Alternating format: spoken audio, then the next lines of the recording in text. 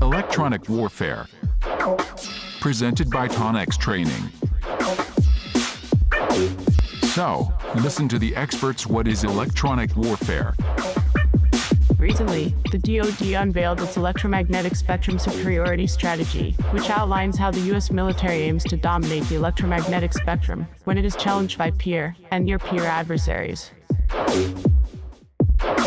Electronic warfare has become an increasingly vital modality against adversaries.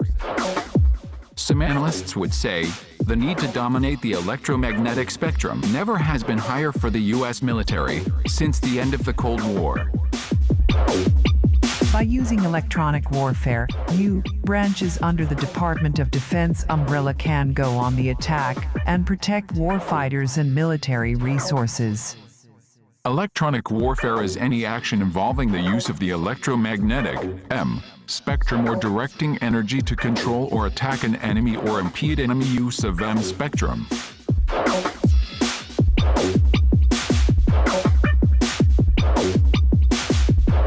Tonex Training offers top electronic warfare EW courses.